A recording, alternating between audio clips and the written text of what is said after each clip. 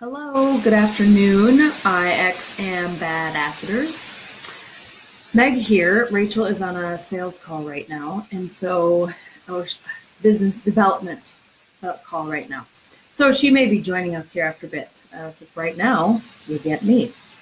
Um, if anyone is uh, joined in, thank you for joining now. For those of you who will watch later, hello, thank you for joining. Um, Merry Christmas in advance because uh, probably won't talk to you again before that. Uh, a few announcements. Let's see. IX uh, Leadership Live class in Rapid City, January 21st and 22nd. That um, is not quite full yet. So if you and a friend want to join in to that class, you should sign up immediately. Um, the, the link to sign up has been shared on this page. Um, it's on both of Rachel and I's individual Facebook pages. It's on LinkedIn. It's in all the places. So um, if you don't find it though in any of those places, let one of us know, uh, and we'll make sure we get it to you. And um, let's see what other things. Bob is for anyone who didn't catch last week's um, last week's live. Uh, Bob Turnus is our new Chief Revenue Officer. He is in Boulder, Colorado, and started with us on 2 December. And so he has been working feverishly to build the business and get more people into the IX community. Uh, the book is available on Amazon, as you all well know. Thank you. Big shout out to uh, Shelly, Terry, Mark, and Jake who gave us reviews on Amazon. They get a uh, free invite to invite someone into the IX uh, closed group, um, or they can gift a book. So, any of the rest of you, if you've read the book and you do a review on Amazon, we're keeping track of those, and then you get to uh, recommend someone or put someone into the IX uh, Facebook group, or you can have us send them a copy of the book. So don't forget to do that. Uh, the book is also available in Kindle version, which is now free holiday special. So um, anybody who you know who reads Kindle and they need some good material for the um, holiday break, recommend that. We're working on the audio version of the book that should be done soon. Um, it's a lot harder to read your own book out loud than one might think. Um, what other things do we need to tell you? Um, I can't think of anything else right at the moment, but I do see that Bob is on here. So, Bob, if you think of anything, um, send me a message and I will make sure I say it. So, today we're going to talk about being an entrepreneur and what does that mean and what does it feel like, and um, then some of the questions. Actually, two of the questions uh, got the same amount of votes and, and one got the most, but we might actually talk about all three because they're all great questions. So, first, in terms of entrepreneurship, um, let's tie that bad boy back to the four culture types. Now, a lot of times we see, and a lot of times we hear, oh, well, all entrepreneurs are probably fixers or independents because they like the chaos and the freedom and and they, they don't mind it being crazy. So, yeah, a lot of times we do find that entrepreneurs are fixers or independents, but we've also found many times that a stabilizer or an organizer could be an entrepreneur. So, let's talk through those four types. Uh, a fixer who prefers chaos in the team environment is probably going to you know hire a team right away now whether they're external to that business um, or you know a bunch of resources friends family members who have done things that they you know in areas they need answers, um, or uh, if they actually hire a team within their business. Um, but chances are that person cannot just work alone. They have to have someone around them so they can spitball ideas and be thinking about um, all the different ways that they can be successful. And they like a little bit of chaos and a little bit of freedom. Um, and, and so they're really going to be thinking about you know innovation and, and strategy and how do they make all of that work together. An independent um, entrepreneur, of course, likes freedom, and then they're more on the self driven side. And so they might not necessarily care too much about having a team. Not that they don't care about their people, but they might not care too much about having the team. Um, but I will say an independent knows typically that they need a team, right? Um, and so they'll probably seek out advice uh, from some some trusted advisors when they first start, uh, just to make sure they're sort of on on the right path, and then they'll just go for it, probably until they can afford or really need to start ramping up the employees, and then they'll put some employees on their staff or you know contract out whatever work needs to be done. Now, a stabilizer uh, entrepreneur is one going to take a lot longer to decide they want to be an entrepreneur, right? Because they prefer order and they they're team driven, so they have a lot of things that they're probably thinking about. What does their family think about it? How is it going to impact the people that they're working with currently? How can they make sure that they're providing a great environment for the people that they're going to hire into their new business? Uh, and so, as a stabilizer entrepreneur starts to develop to develop their thoughts and, and how the business is going to run, they're going to have sort of in that um, in the change cycle, their decline. So where they're going from I have a job, I work for this person, to I have a new business. So in the decline where they're getting used to this new idea, they're really going to be intentional uh, about thinking about what's happening. Uh, once they start the business, they're for sure going to have a team and they're going to be constantly checking in with everyone on the team. Um, and they're going to want a lot of order. Now, a stabilizer entrepreneur might drive themselves a little crazy because they'll be checking to make sure that everything's okay and everyone's okay and that uh, things are going right. And uh, that can be a trap for that entrepreneur um, because they, they might really be um, kind of forsaking their own genius uh, to make sure everything's in order. So kind of the stepping over a dollar to pick up a dime mentality. Um, so then an organizer um, entrepreneur, and we actually we had one of these uh, in with an organization we worked with, and we just in talking to this uh, CEO, we pegged the person as a as an independent. Uh, you know, I don't so much care about what everybody else thinks. Not that I don't care about them or their ideas, but this is my idea. This is what I really want to do. I know this is how it's going to work because I've done this sort of thing before. Um, and and didn't seem to mind the chaos, but then we did get some like you know in hindsight we got some of this you know like I'm always putting out agendas and no one's reading them or I, I send out lists of things that need to be done and then they don't get done you know in the timeline that I put out and I don't understand why. So they we had the whole organization, of course, uh, uh, management team, I guess, take the assessment, the culture type assessment. Come to find out, she's an organizer and was sort of driving her people a little bit crazy with all of her agendas and timelines and everything. Now, full stop. I am not saying that agendas and timelines are not important. They're very important. Um, but it, you know, it's all about how you manage them and how you manage communication and how you manage expectations of the team. And so, an organizer entrepreneur uh, is going to be orderly, and they they don't mind doing things by themselves. So they might put, you know, think, oh well, we need to do this thing, and then they'll put a whole agenda together or a project together, and then dish it off to somebody else or a group of people and say, here's the thing we're doing, and the group's like, huh? Since when are we doing that, or why are we doing that, or can we get an explanation? Um, so an organizer entrepreneur has to make sure that they really are thinking um, and being intentional about communicating with their team. So those are kind of the differences in the four types of uh, entrepreneurial leadership styles.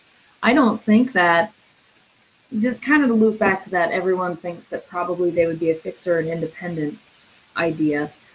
Um, I don't think that there's any one that any one culture type that would be better than another for entrepreneurship necessarily. Now, fixers and independents um, in a startup environment probably get through the daily grind a little bit with a little bit more ease uh, less anxiety because they don't so much mind the chaos and the freedom.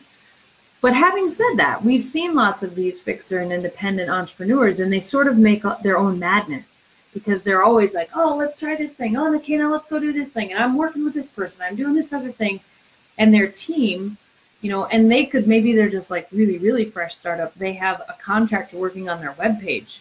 And that contractor, you know, is just like, I can't, I don't even know what you do yet. Like, I, I can't even figure out what's happening right now. So, uh, while fixers and independents as entrepreneurs may tolerate the speed with which entrepreneurship flies, um, stabilizers and organizers will organize that chaos uh, intentionally um, without letting the chaos rule them.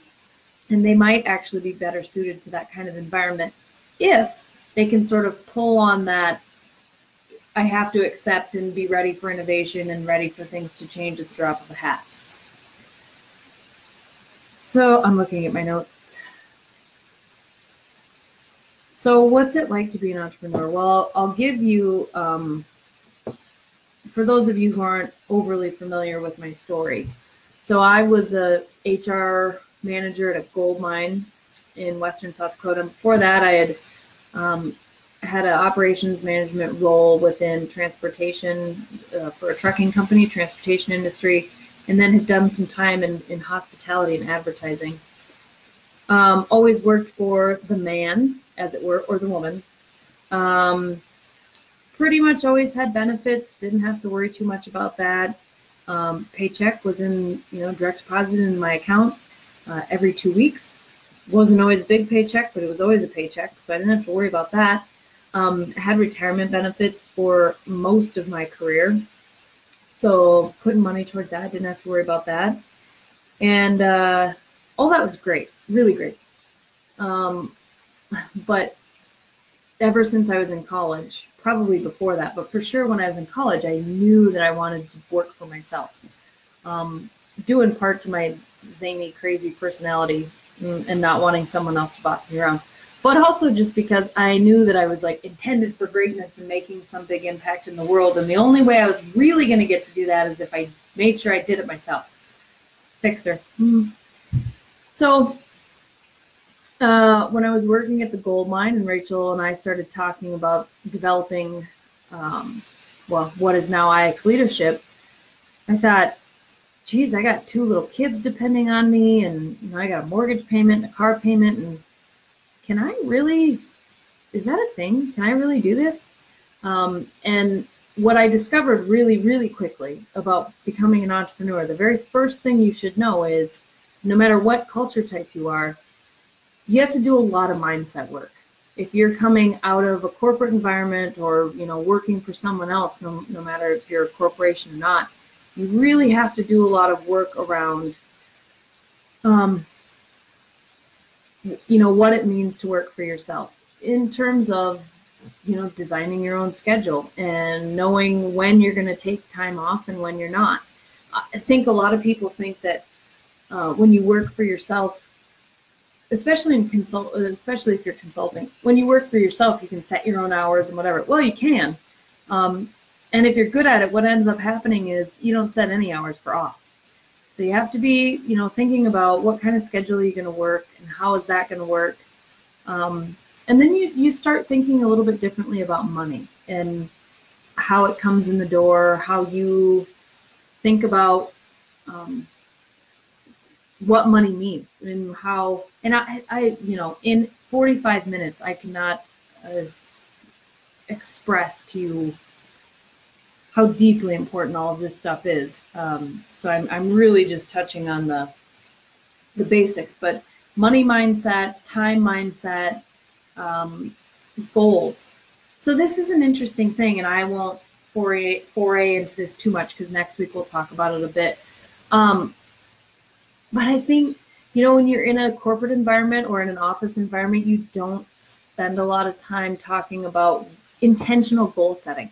So of course most organizations, especially large ones, have goals, right? They have a strategy in place and it's like 5% cost reduction over the current or the last year and you know, uh, increased efficiency by a certain percentage or increased net revenue, whatever. But that doesn't really mean anything to anyone, which is why Rachel and I started doing what we were doing in the first place. So, but when you come and become an entrepreneur and you you start thinking about all these grandiose things that you want to do, it's really overwhelming. And so you have to cut that back and do some backwards math into, um, you know, what does that mean? So if I want to make so much money a year, then how many hours does that mean I work? And what is my billable hourly rate? Thank you, Bob, for making Rachel and I pin that down.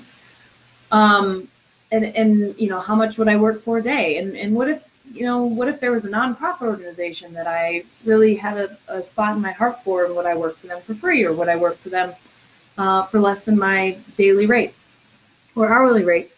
Uh, so you really you really have to start thinking about um, all of that mindset work and, and how you're going to spend your time and what you're going to spend your time on.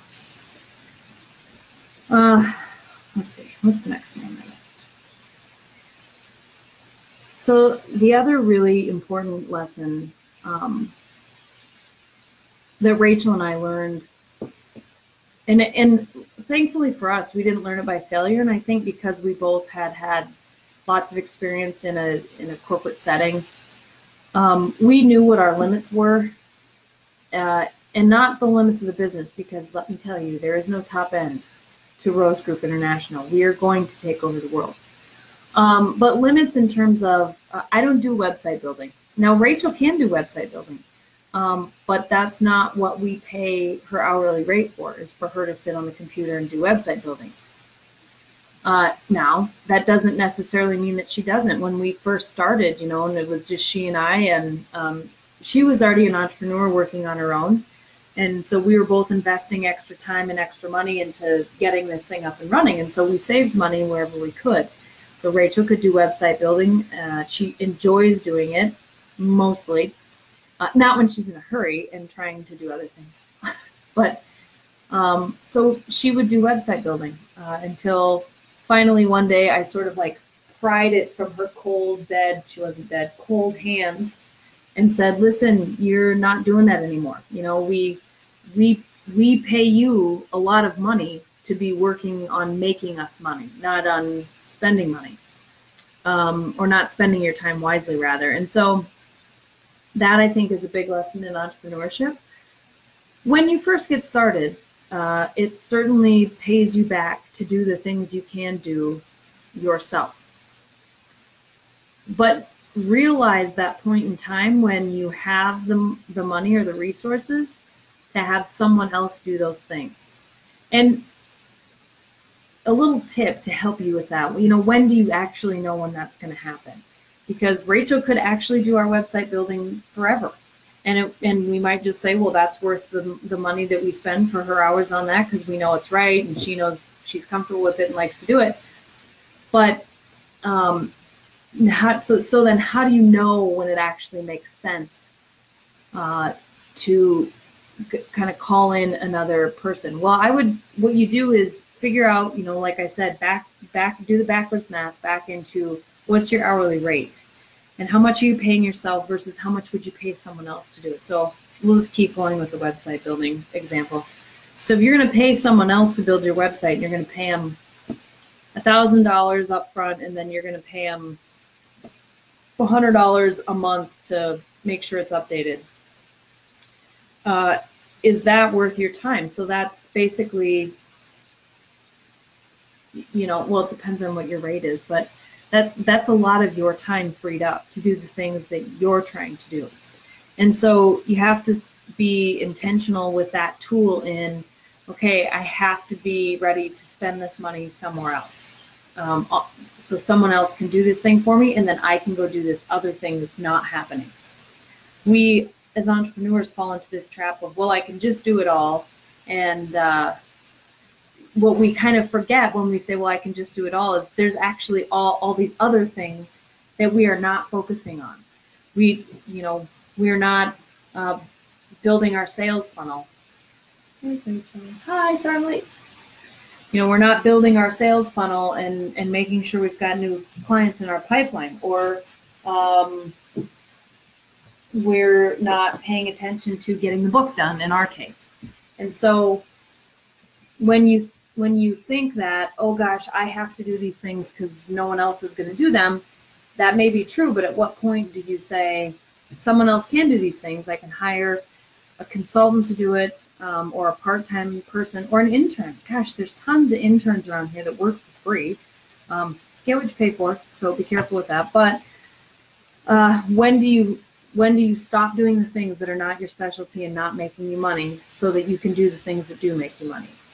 Um, and that's why sort of doing that backwards math into what your hourly rate is and figuring up how much you're spending on the thing that isn't isn't making you money that helps you make that decision.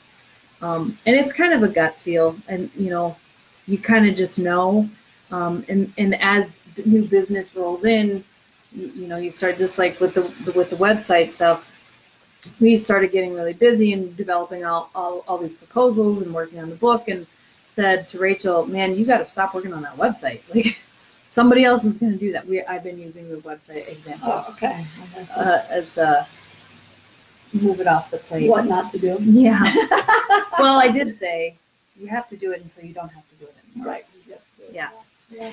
Um, so that's that's sort of a that's the bit about know your limits. Again, don't ever put limits on the top side of success. Uh, you can the and really we tell people the, the crazier and hairier and bigger the goal is, um, the more successful you'll be. So if you ask the universe for $100,000, you might get 50. So why not ask it for a million? Because then you get 500,000. That's way better than 50,000. Um, so I have a couple other things on here, and then you can start talking about your perspective on entrepreneurship. Okay, I will. Um, FedEx gets here. I'm gonna see if he needs a sign. okay. Yeah, he's waiting. So the other thing that I think is important to think about is Oh, that's okay. He's at the wrong place. Poor guy. Make sure you thank your FedEx and UPS people this time of year. Holy buckets. Right. Um, never stop hustling. And and the the lesson in that, I mean, that seems like it goes without saying because of all of the the hype around how being working for yourself is so hard. Mm, but what I mean when I say never stop hustling is don't ever give give up on what you intended to do. So our goal when we started was to impact the lives of people and change the way business is done and make money doing it. And so we don't ever, I mean, not a day goes by where Rachel and I, if we talk, like unless it's holiday or something, but we usually talk then too. We try not to talk about business all the time. But most of the time, it's about business, and we don't ever let a day go by. And this isn't even intentional. We've sort of just built it into the dynamics of our business. If there is a day that goes by that we don't talk about, you know, does that really serve our goal? Our goal of helping people, changing the world, um, changing the way business is done, and making money. And if it doesn't, you know, if it really doesn't positively impact um, or have some sort of ancillary benefit to those areas, it's off the table. And so um, always be intentional about following through on your strategy and your goals. That's what I mean by hustling. I don't mean uh, sit down and work on your Excel spreadsheet budget for 17 hours because you're a really great accountant. Uh, no. Uh, I don't mean work on websites because you're really great at IT, website building, and creative design. Uh, what I mean is hustle your business, not don't let your business hustle you. I think that's my. That's Oh, my- look at that. That sounds like a meme. It sounds like BRB. I'm building my empire. BRB. Um, and the last thing I would say about entrepreneurship is because you're hustling your business and sort of living your dream. And let me just say, do not start a business that isn't your dream. Like, don't So become. And, and I and I'm I'm definitely speaking from um, a place of experience. I have like ten business uh, business ideas uh, with the what's the thing called the um when you start a business and you have to have the whole thing to show the bank. Yeah, Pro forma? Jesus. Uh, I have like 10 different business plans that I've put together, you know, like a cleaning business, which by the way, if any of you want to start a cleaning business in Spearfish, but don't want to be the cleaning person, I have the entire business plan built out or anywhere for that matter. You don't have to be in Spearfish. But I've built out tons of business plans and I call my girlfriend, my uh, Katie Gallagher, who, oh, Kaufman, sorry, married, uh, best friend from college. and be like, hey, guess what? I'm going to do this thing. And she's like, that's ridiculous. Like you, you're not going to do that. That like, that doesn't suit you. You're not going to be happy doing that. So really, man, gut check your ideas. Don't be an entrepreneur for being an entrepreneur's sake. Figure out what it is you can be passionate about because it's a different kind of work. You have to love what you're doing every day. There is no greater value statement or goals or strategy or bonus that you're working for other than your own. And so if you can't be in love with what you're doing every day, you're screwed because we're not swearing on That's right. I've been thinking about making notes over here, and I'm trying not to use person Yeah. notes. because you're not um so uh, it's a different kind of work and be ready for that it's it's um the, the funny thing about being an entrepreneur is it's as much gratifying every day. It's 10 times more gratifying than working for someone else. It's 10 times as much heartache when things don't go right than when you're working for someone else. And you have to you have to be ready for that. And that goes back to that mindset of you know you just every day you're working on and thinking about how you can improve and, and meet your goals. Um and the last thing i would say about that different kind of work is uh make sure you give yourself a little time off. Because you're literally emotionally physically mentally giving your entire self to that that new endeavor because you can't let it fail. And um, we really think that we can do that and, and and then of course until you can't and so be sure to give yourself some time to reflect on what's going on and just breathe. Go for a hike sit down read a book take a nap go on vacation whatever it is. But don't be working all of the time. At least that's been my experience. And now rachel. Um, here, just so you, I'm just gonna look at her list to make sure I don't say the same shit, same stuff. Um, it's nice. mhm, mhm, mhm. All right, those you've already talked about types. I did. I started with that, yeah. For the, I typed it, turned this just a little sure you bit, bet so I don't have to look. at this. Yeah. Okay, well, um, sorry I'm late to the game. I was on a, did you tell me where I was? Yep, I did. yeah, anyway, I was on a sales call with a, a new firm that we're gonna be working with, and um, they are. It's fascinating because um, our culture types work. Work. Okay, we're gonna we're gonna make one concession for swearing because this is what we say all the time. This shit really Yeah, works. It really works. Really works. So I'm. Yeah, I was talking to a. Um, excuse me for the sidebar. Yes, share. Um, there's a CEO who's like, go. They have literally this company's grown twenty percent every year.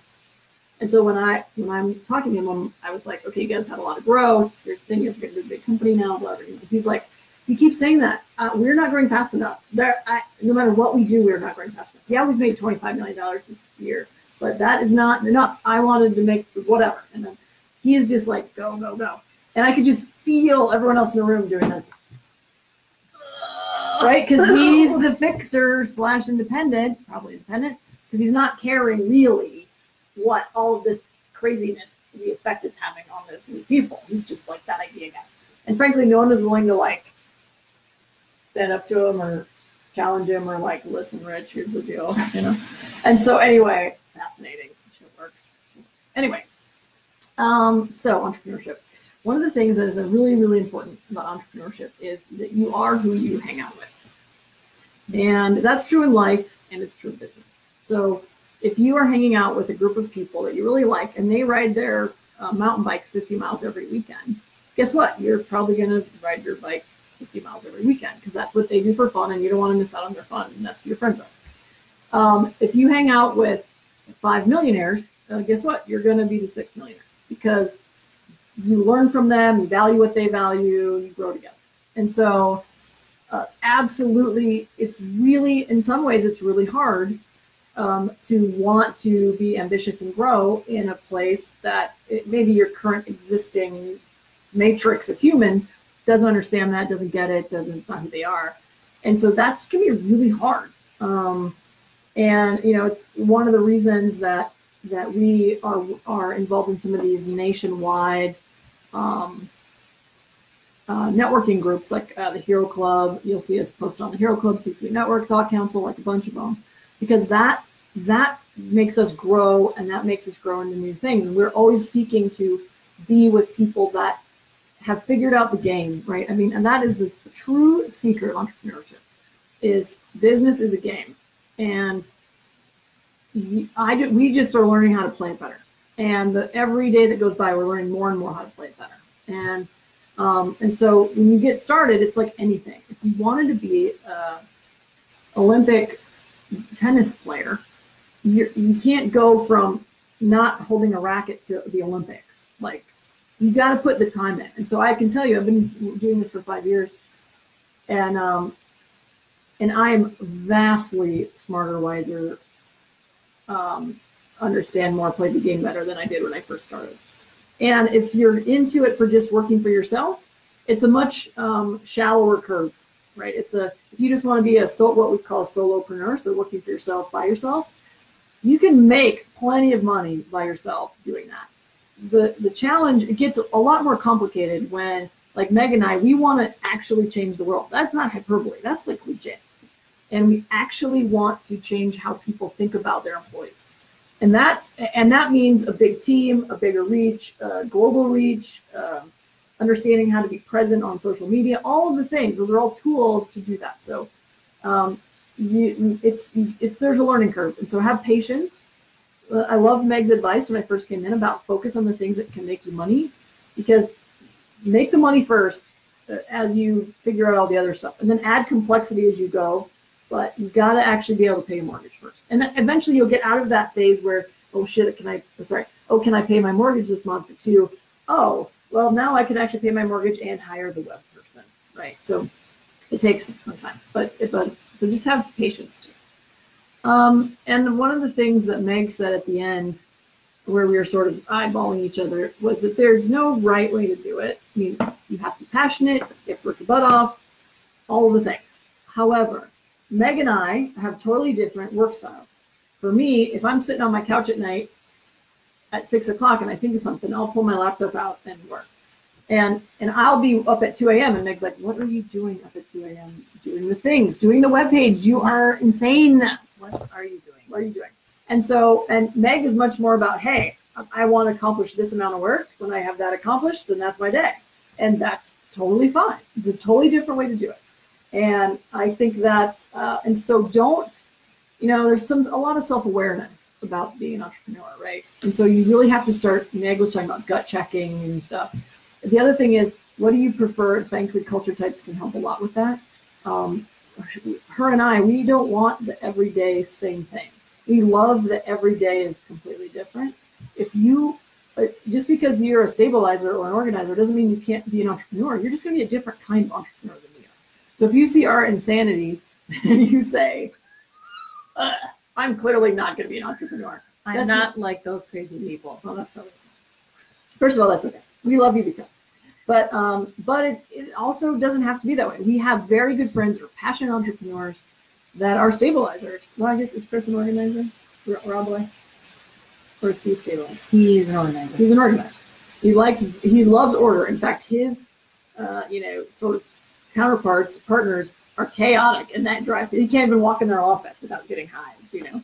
And so um, there is no right way to do it. So um, believe in your way and that it's going to work. Um, so the good news is about the entrepreneurship is you never have to work for a jerk again. Now you'll have clients, you might be a jerk, but um, but you you know my frustration when I was working for people is that um, I was a high performer or I was willing, I'm a fixer. I'm willing to do whatever. Just tell me the problem, I'll go figure it out. Well, because of that, then I would get the crappiest jobs, right? Or I would get the stuff that no one else would do. Oh, Rachel do it. She's up for whatever. And over time, that makes me really resentful because I really want to do the complicated, hard things, not just the things that no one else wants. And so that's one of the things that I love about being my own boss is that I never have to do that again. Now, it doesn't mean that I'll never do things I don't want to do. I don't really want to do web pages at 2 a.m. I really don't. Uh, and those kinds of things. It's not that you'll never have to do work that you don't want to, but you get to choose it. And that very act of choosing is incredibly empowering. And um, there's nothing like it. So, um, you know, me like getting in this uh, this match that I just came out of, it was very challenging. Like he's he's very in your face, and I had to like step up to that, and that's really not my style. But um, so you know, it's not that I wasn't that I didn't feel awkward, but it was I was there because I I chose to be there and I wanted to do it. So that makes it makes it. Um, let's see. Oh, and and then at the end, one of the questions, and I assume this is part of it. Yeah, it is thing. Um, what? Yeah, that was the winners. That was the winner. The resource question. Oh yeah, yeah. That Yeah. was. I told them we would talk about these three because these two got equal, and it wasn't too much less than that. Okay. Too many less votes. So Right. Okay. Um, Okay, uh, so one of the things that um, when you bring people into your space, um, it becomes uh, your it's your space, and it's uh, it's the way that you make a living. It's your reputation. It's your brand. It's everything about you. So your company is you. It might not be your face, but it is who you are. And so uh, be very careful who you invite in. Uh, like Meg was saying, you know, have the website person, have the people that are helping you get your job done but make sure that you're vetting those people that you understand don't just ha- we see huge errors all the time where somebody hires his college roommate or his wife's brother or whatever. And they're not gonna and that doesn't work out. And so what we love to do and this is kind of a fun tip for you guys is when we have an opportunity to bring in someone to the team whether it's michelle or laura or kelsey frankly as the two people that we interface with the most. Um, we talk to their people, or well, Meg knew Kelsey personally, so that's a little different, but and knew that she was good.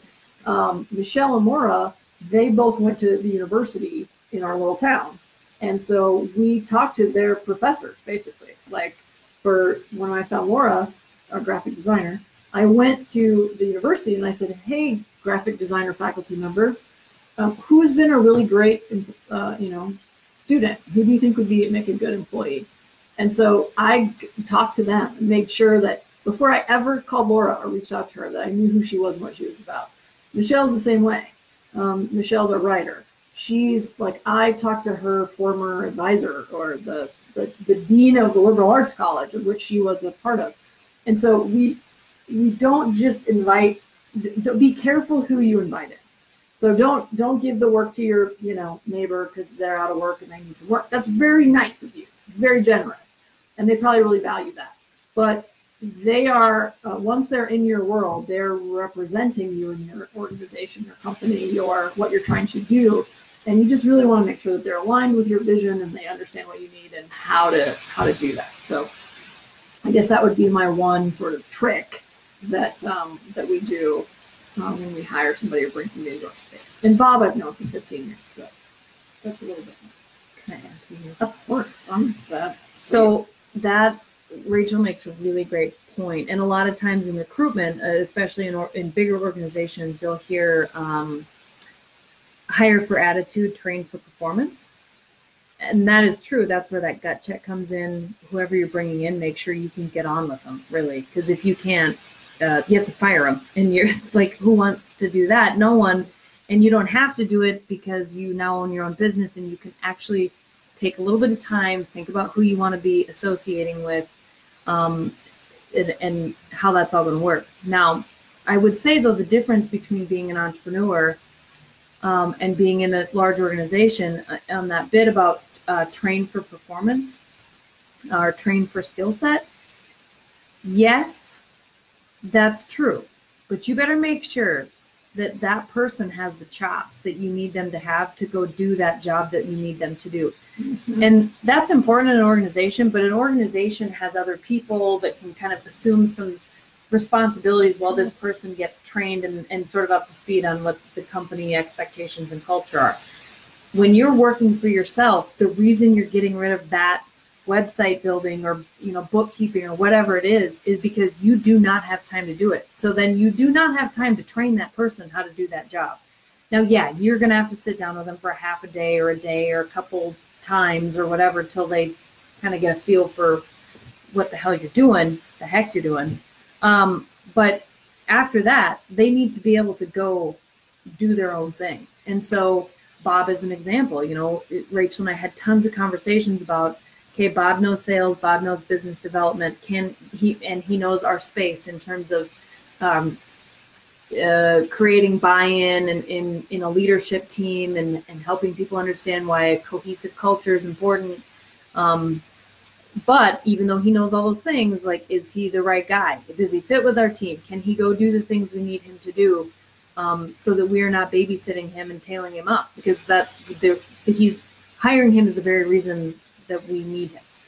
Um, so you can hire someone who maybe doesn't have exactly the skill set you need, but kind of to Rachel's point about hiring the neighbor's kid, like don't kid yourself into, well, this will probably work for now because they'll only do it for ten dollars. And like I said earlier, interns are great, but you're getting what you pay for sometimes. So just be really careful about who you're aligning your business with because you're entrusting your own livelihood into someone else's hands. Yeah, such a big deal. And, and um, also be aware of the space you want to work in. Uh, like one of the one of the big benefits to, of Bob's experience, even though he's never done leadership or that kind of stuff specifically, is that he works in corporate, and that's where we work. That's the space we work in. So he understands that space. Um, yeah, I had another thought that just escaped me. Put it away. Mm, I can think for a minute. Go ahead. Okay. Um, what were you talking about? Something um, else. I was talking about hiring the intern, paying ten dollars to the neighbor's yeah, kid. There was something about that. Um, don't kid yourself that they're going to do the job you need them to do. Yeah, you can train for skills, but you they've been no, no, no, no. That was something about that at the end there. The ten dollars. Give ten dollars You get who you pay for, sort of thing. I don't know. I don't remember what you were thinking. I know. It would be really helpful. We share a brain a lot, but I just really don't remember what it was. But anyway, I got distracted by the Bob thing. Well, we should answer this question. So what's the other question? Okay, so um, okay. How do you take the first terrifying step? Well, just F and do it. Like that i don't know that there's any better way to well, say it. I, I mean I think there are better ways so there are better ways but the reality we'll give you some well, rachel will give you some sage advice but my sage advice is advice. just f and do it. That's because i'm a fixer. Go on. Well and that's not really true. She's lying. Because what happened before you really stepped away from your job full time yeah, well, lots of things, but I had to. I guess when I say it, what I mean is you have to decide in your head, and your heart, like that you're just going to do it. You yes, can't just be like, critical. well, maybe I will, well, maybe I won't. In your head, you have to just do it. And then there's like a hundred million things that you physically have to do and mindset work you have to do before you not feel like you don't need to be put in a straitjacket and locked up in the nut house. That, that'd be bad. Um, but really, what you can do is you can start small. So um, I started small. Meg started small. Not small in the ambition, but small in the commit financial commitment. I would say. And so, what a lot of us do, a lot of people that are already professionals, um, or maybe even if you're not a professional, just working an hourly job, but you want to start something, is you, we started all of us, or at least both of us, we started um, as par, as a part time gig you know, we kept our full time jobs.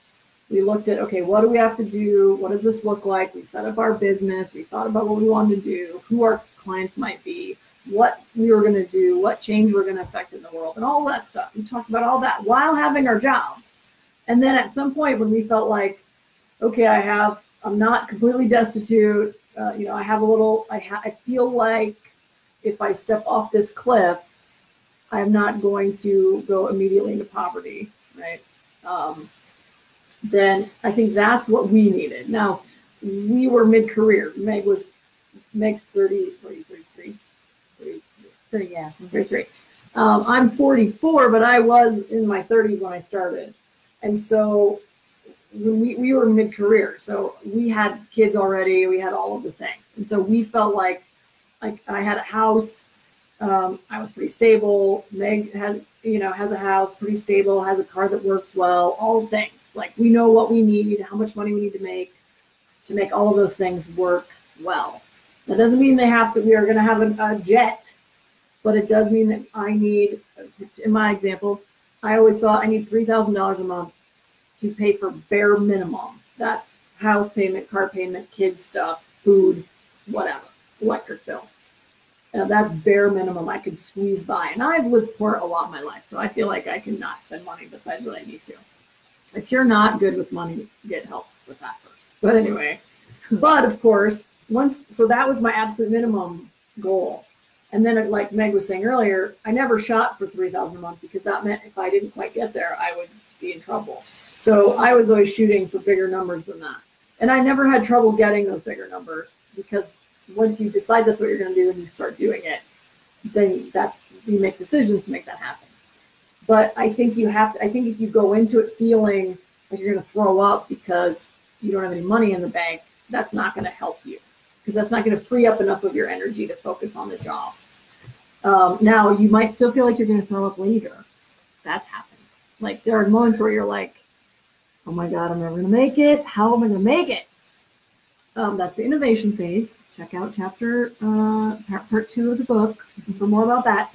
So you'll have those big swings, right? You'll have the days that you're like, "We're going to be millionaires," and then the next day you're like, "Oh my God, I can't even make my mortgage this month." Which we never did. For the record, we have never not been able to pull shit off that was pull that off financially. Um, so believe that you can do it because you can.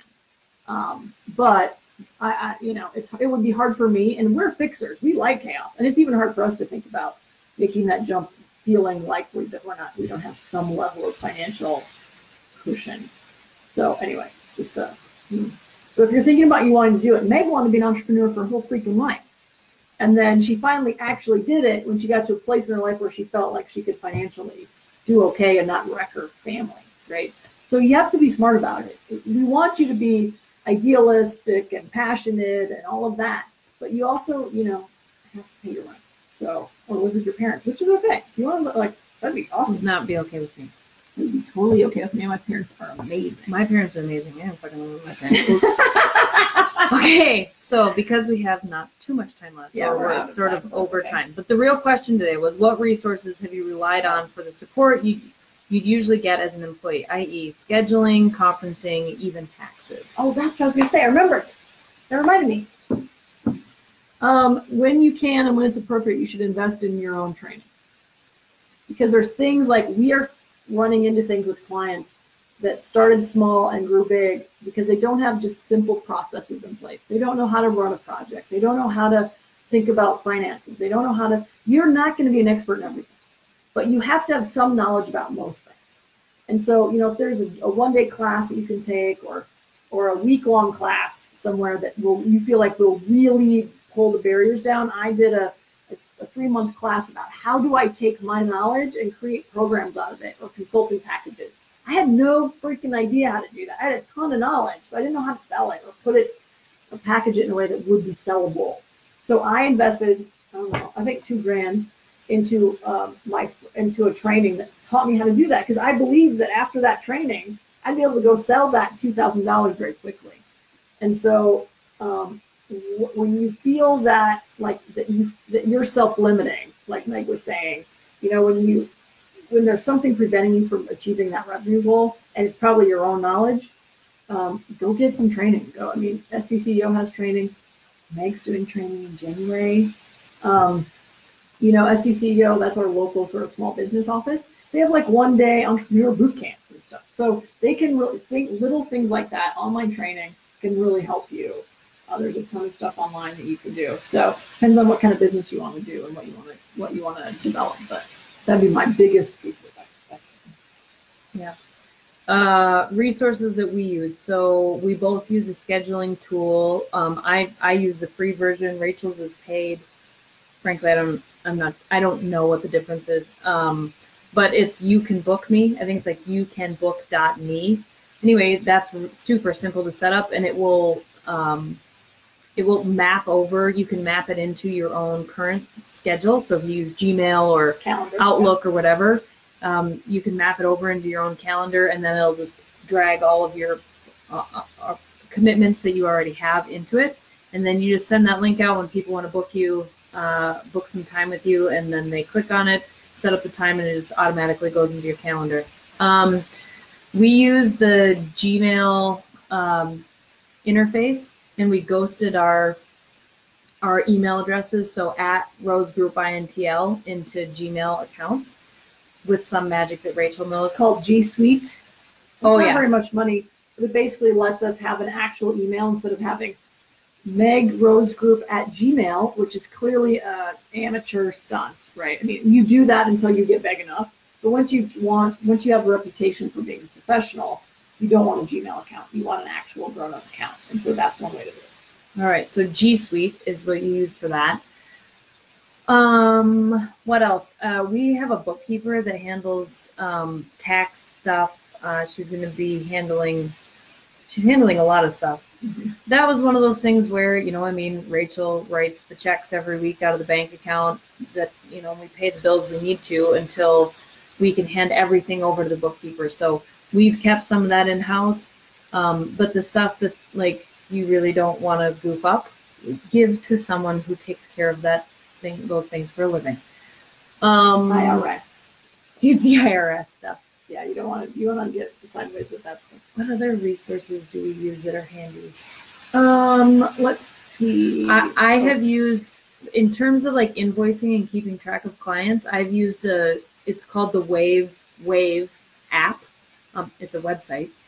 Uh, anyway, it's free. It's pretty handy. It's got some paid stuff too. You know where there's paid resources, but you don't have to use those. A ClickFunnel. That's a resource that we've kind of recently discovered.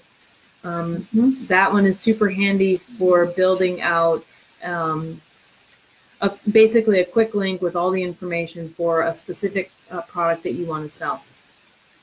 Uh, the, the things that are probably the best resources in terms of advertising are Facebook social media. and LinkedIn, Twitter, um, Instagram, which I don't really do much of. Well, let's be real. I don't do much of any of it, but we pay Just other the tool. people so that Meg's stuff gets posted.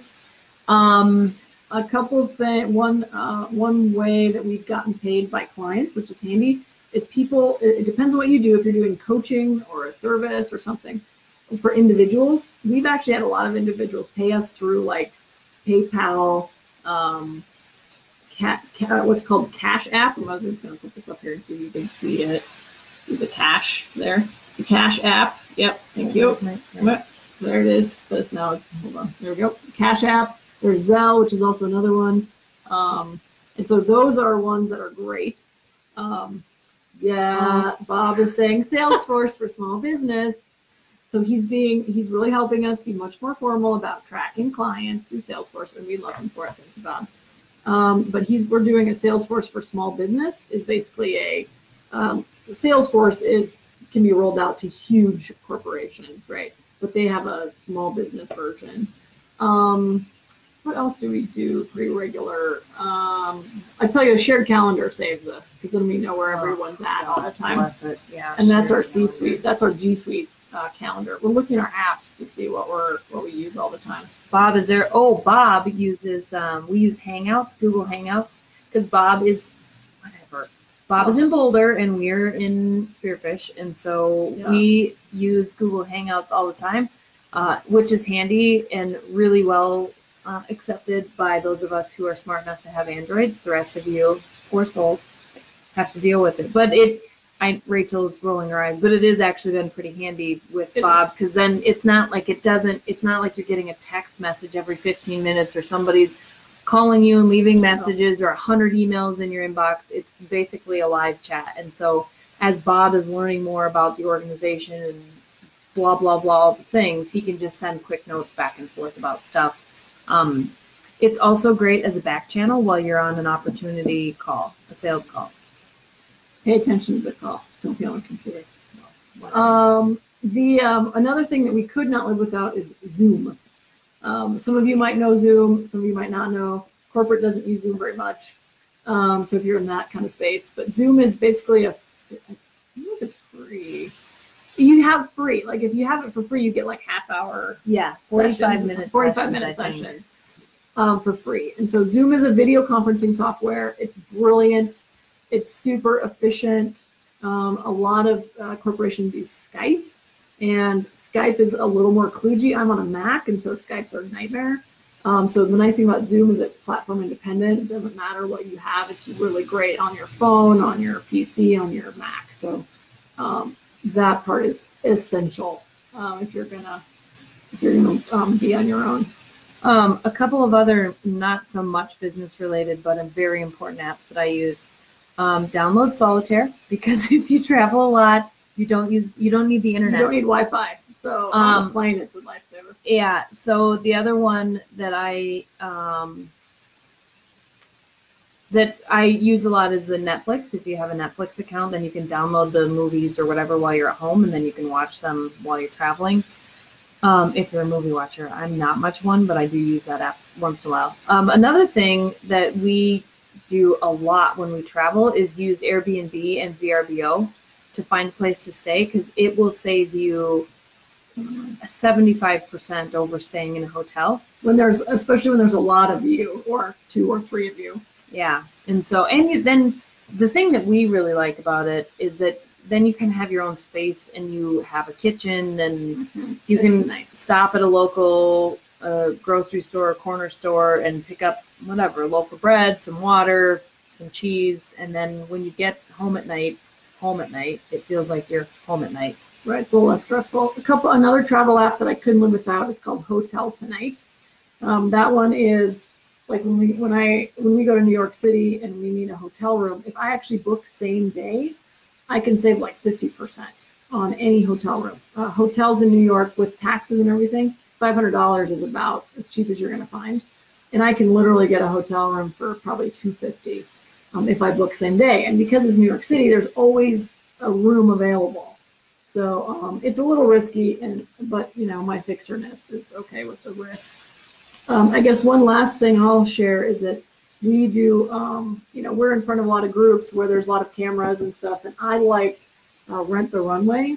So when I'm in, when I'm in a networking event, the same like I like to wear a nice thing. Well, I have like three nice things. So after a couple meetings, everyone has already seen my nicest dress, you know. So what I do is I'm I do rent the runway, which means I can borrow clothes, um, and I have an account. So I get clothes delivered to my house. I send clothes back via UPS store, and it just shows up. And so it's great. If you want to try it, I can. I have like free trials I can share with friends. So um, sorry, men in the room, you- I don't think they have one for you, but um, the, for the ladies, we can. Um, I can give you a trial for free 30 days or something on that. So. Oh, you know what else is way worth having is um uh get TSA pre-check one. Oh, yeah. Like if I don't know why people it's $180 for well, it's not even that five years. Yeah, or ten years. It's. It's stupidly cheap. I don't know why. I mean, for the limited amount of traveling that I used to do, now that I travel a lot, I'm like, I don't know why I didn't get this before. Especially if you have a family. I know that's not business related, but if you have a family, dude, so much easier. Like there is no taking off of the shoes or get your iPad out of your bag that you somehow buried in the bottom, even though I told you to put it in the top, like pre-check. Also, clear is another one. Now that's only in mm, ten the big, ish. the big, the big airports. Yeah. like JFK, LAX, probably Denver, probably Minneapolis. Yeah, but that one you can actually even skip basically the whole pre-check line. It's incredible. They biometrically scan you, and then they literally walk you past the line and right to the belt, basically. Yeah, be ready for some dirty looks. It, that I don't care. It's I'm over it. Also- over the dirty list. Yeah, it's we get that as a benefit for being Hero Club members, but it's also um It's not that much, like twenty bucks a month if you yeah, use it's, it. it's not a terrible amount. So anyway, okay, we have like We're weird. way over one little thing. Oh, it's an hour. Sorry. One little thing that I pay for personally, um, that I don't have the company pay for, is I'm a member of the Delta Sky Club, and that sounds really snotty, and I hate even that I'm doing it sometimes. But basically, it's you know you get um, you can walk in. There's always food. There's always drinks. You know, airport. If you hang out for two hours in an airport, you're going to spend fifty bucks on food and drink probably, and a book and all the other things to board Um, it has great Wi-Fi and all the things. So I pay for that personally, and that really, even if I have just like an hour layover, I'll pop in there and get a snack and a, something to drink, and it's a nice little refresher. And I don't have to pay a bunch of money to, to do it in the airport. So I love um, the convenience and the benefit of it. So something to think about if you start traveling more. But Anyway, all right. Wow, an hour. Oh, wow. Sorry, Yeah. probably because I was late. Yeah, Sorry. well, we like to compare ourselves to. We do. Okay, well, uh, Merry Christmas Merry Christmas. to you all, and uh, we'll talk to you next week. Uh, lead powerfully. Change the world. Bye. Bye. I'll make sure that you're doing.